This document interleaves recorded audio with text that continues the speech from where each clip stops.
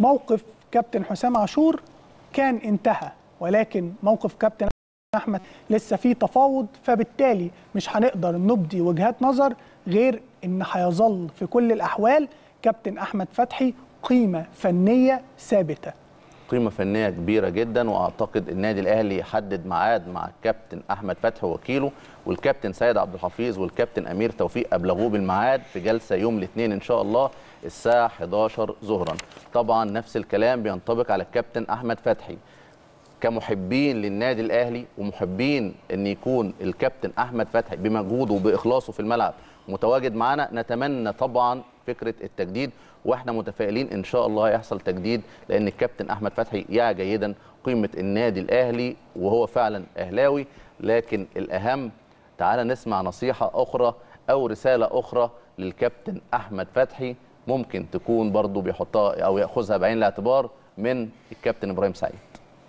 أحمد فتحي مشابه؟ يعني هل ممكن نشوف أحمد فتحي الأمور بالنسبة له إن هو مثلا لو اتعرض عليه مبلغ معين ممكن يقول لك لا أنا جاي لي بره أكتر أمشي. والله بص هو حس... يعني برضو أحمد فتحي برضو عمل تاريخ للنادي الأهلي. فهو أعتقد يعني يعني إن هو تواجده في النادي الأهلي أفضل. حتى لو بالمقابل المادي ما- يعني أقل شوية بس هو وجوده في النادي الأهلي بصراحة يعني يعني أحمد فتحي ما تنفعش تشوفه غير في النادي الأهلي. لو بصراحة. لو خسر كتير أحمد. أكيد. يعني مهما مهما كان المبلغ يعني. طبيعته طبيعة أحمد يعني تحس إن هو لعيب نادي أهلي. بكلمك بصراحة.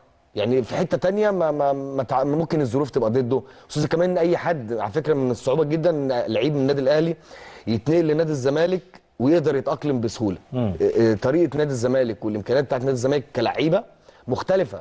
يعني شيء مختلف واخد بالك؟ يعني في طريقة اللعب في طريقة ال- المعاملة هياخد وقت كبير جدا لو اتنقل نادي الزمالك على ما الجمهور يبتدي يقرب منه ويشوفه فالموضوع مش سا... مش مش بسهولة على فكرة. مختلفة. لا حسابات مختلفة تماما يعني. جيل التسعينيات وبداية الألفية الجديدة عارف قيمة إبراهيم سعيد كلاعب كان ممكن لاعب أسطوري لولا قراراته. ولكن لما تيجي ال- النصيحة أو وجهة النظر من شخص لاعب لأكبر ثلاث أندية في مصر أهلي وزمالك وإسماعيلي وشاف الهيكل الإداري داخل النادي ده والنادي ده والنادي ده وشاف كمان التعامل سواء على مستوى الجماهير أو اللاعبين أو المديرين الفنيين ويطلع يقول إن الكابتن أحمد فتحي ما ينفعش تشوفه غير في النادي الأهلي. أعتقد دي وجهة نظر المفروض كابتن أحمد فتحي ياخدها بعين الاعتبار وياخد كمان بعين الاعتبار جماهير النادي الأهلي العاشقة لمجهود كابتن أحمد فتحي لأن بالفعل أحمد فتحي لعيب راجل وفي أي مكان بيسد وإن شاء الله تكون جلسة يوم الاثنين جلسة آه، تقارب وجهات النظر وجلسة إعلان التجديد بإذن الله.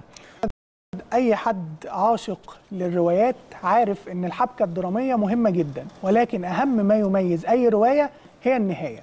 فأتمنى الروايات تكون نهايتها تليق بقدر اللاعبين وزي ما قلنا لهم مطلق قرارهم.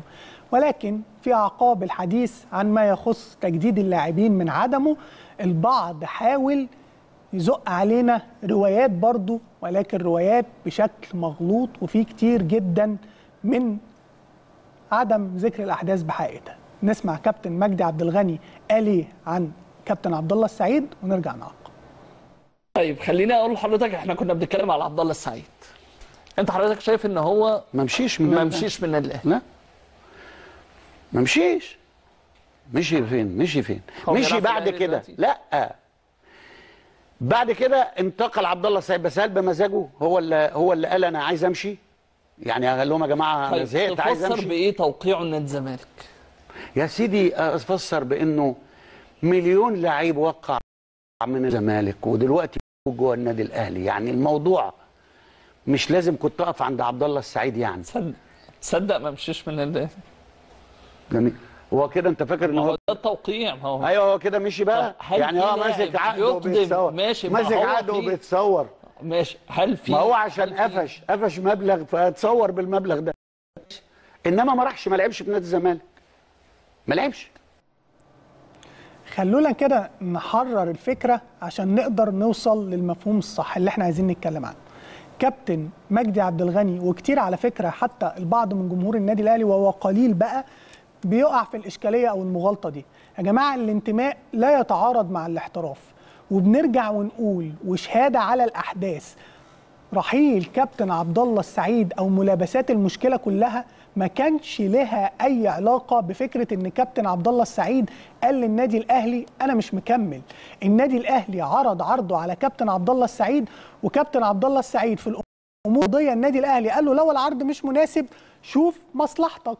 وده كلام موثق. ولكن اللي حصل وسبب المشكلة وسبب كل ده هي الصورة اللي ما عرفناش نعرضها اللي كان كابتن مجدي عبد الغني بيتكلم عنها إن اللاعب وهو بيتفاوض مع النادي الأهلي وبيقعد جلسات كل الناس عارفة حقيقتها مع كابتن عبد العزيز عبد الشافي وبيتكلم في التجديد. وهو رمز من رموز النادي الأهلي كابتن عبد العزيز عبد الشافي أنا في نفس الوقت ماضي لنادي آخر ومتفق مع نادي آخر عشان أخرج مشهد دراماتيكي في النادي الأهلي اتضحك عليه وده اللي رفضه النادي الأهلي.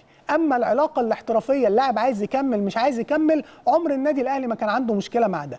وده اللي بنرجع نأكده يا جماعة لا يتعارض الاحتراف مع الانتماء.